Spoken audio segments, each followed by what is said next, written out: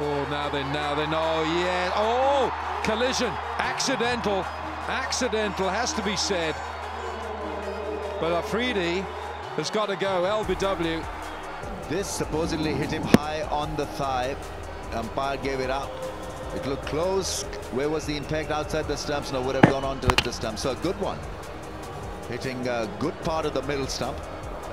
And there's a little bit of collision in his follow through. Bilawal Bhatti ramming into Shahid Afridi. Uh, his celebrations were cut short by that collision.